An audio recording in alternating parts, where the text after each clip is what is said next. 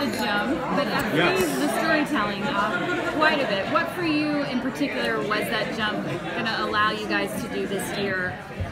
Um, you know, to me, every season is so different, and I really to keep it fresh. The one sort of mandate that I have going into every season is let's tell a new story. So this one, you know, it felt like we wrote ourselves into a bit of a corner with like the death wave was coming and the whole world was going to be destroyed, and you know, we needed to give it a little time to you know, the, one of the themes of the season is regeneration and rebirth, and so it felt like a natural. Uh, and we talked a lot about how the world, Earth wasn't going to be survivable for five years, and we didn't want the door to the bunker to open and have them have to wear hazmat suits again, frankly. So, uh, as a favor to the cast who did not like wearing hazmat suits, um, we don't. We, we come back post the radiation levels have lowered, even though the world is mostly wasteland still. You can breathe, which is important.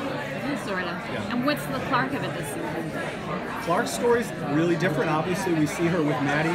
She's got a child, essentially. I mean, if you you know if you have children, you know the second it happens, your priorities shift, and suddenly her her crew is this one person. Uh, she loves Madi, and they are mother daughter. They've been together for five uh, years by the time we meet them, and so that's more time than they were ever on the ground.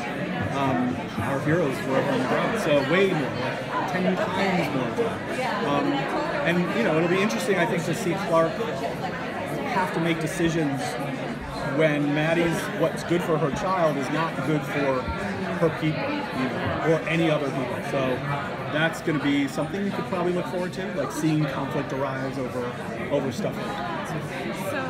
One thing that has always been the theme of the show is people having to choose between two really horrible options. Yes. Um, how has that changed for the people who are up in space and they pretty much know each other? They are not necessarily fighting for survival. Yeah, that's intuitive of you. Very good question. I think up in space, their ride is not quite as bumpy as other people's ride. Uh, we don't see a lot of it. That's one of the good things about the time zone. Um, they're going to come back home pretty quickly in the season.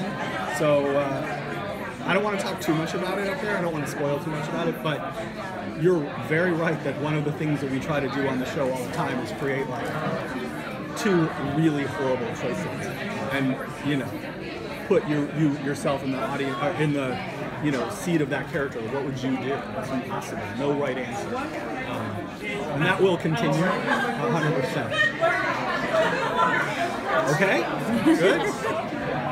Do you plan to explore the time jump at all? Uh, what happened in that six years for each of the three groups through flashbacks, through just them talking first person with the people once they're back on the ground? Yeah, yeah. I mean, we're gonna see some for sure. We're gonna flashback some. There's a couple really, really powerful uh, things that happen to the various camps in the six-year time jump that I want to see and not hear about.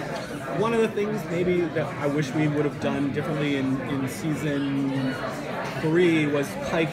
You know, he had a whole backstory about what happened to uh, him when he landed in Ice Nation, and he told his story really powerfully because uh, in the cave, but the audience didn't believe him, and that was strange. Like that was a lesson to me. Like if we're gonna create a character who's acting the way that that character was acting, we needed to understand where it came from, and so you know we're, we will see the, the sort of formative, powerful events that that turned Octavia, for instance, into the Octavia that we see this season. We'll flash back and see some of that, um, but it'll also be like through dialogue, through scenes.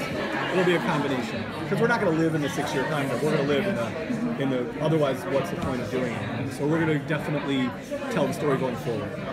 Well, a Thanks, quick, guys. real quick one. Just in terms of characters, you get an opportunity to see push your actors in a different direction, Yeah. depending on where, how far you want them to be in these Yeah. six years differently. Which one are you most excited about writing so far?